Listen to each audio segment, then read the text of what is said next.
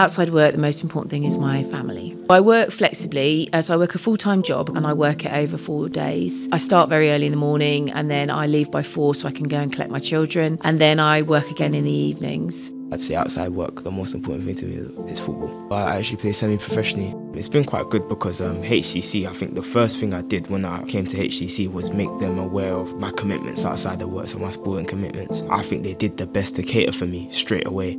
I've been a carer for 30 years and it's an inherent part of me. I couldn't do anything else and I have the flexibility to work between somebody who is disabled and somebody who has a learning disability, which I love, and can promote their independence, promote all the things that are good for them to do, as well as be at home and promote her independence as much as I can, and do things together as a couple.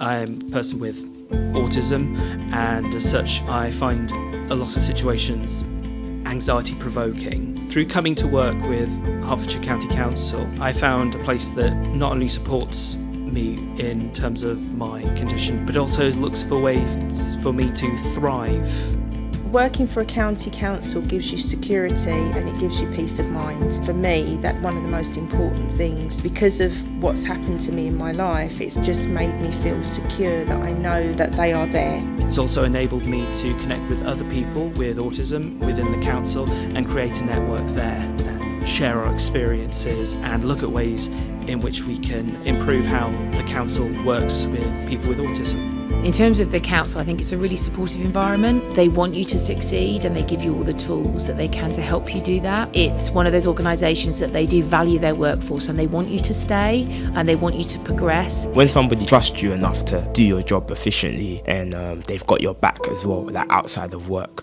it makes you want to repay it in a sense. I don't want to ever like disrespect the trust they've put in me with how they are with me outside of work. You can still progress your career and feel supported and feel like you're not compromising one for the other. You're not compromising your career. You're not compromising your time as a mother. I feel like I can really progress here and reach where I want to be as long as I keep working hard, keep learning new things, which they allow me to. I feel like I'm going to be sticking around for quite a bit of time. I feel like this is a place where I am listened to, which is sometimes it's a bit of a rare thing in the world, but I'm glad to find that I have found a place that I can speak here. I feel like I'm at home in Hertfordshire.